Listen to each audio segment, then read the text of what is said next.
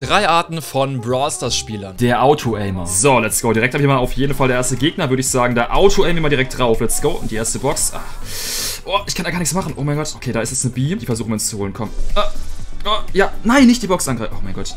Ich weiß überhaupt nicht, wie ich die angreifen soll. Das ist sau schwierig. Ja, oh mein Gott, komm. Oh, komm.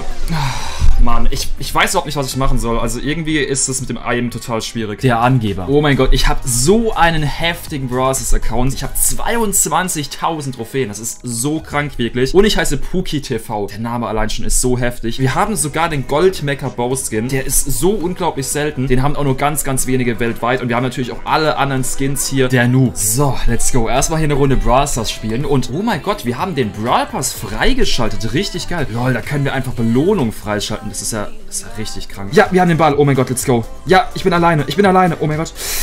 Ja, 1 zu 1. Wir haben ja Ausgleich geschossen. Schon mal ganz wichtig für uns. Okay, let's go.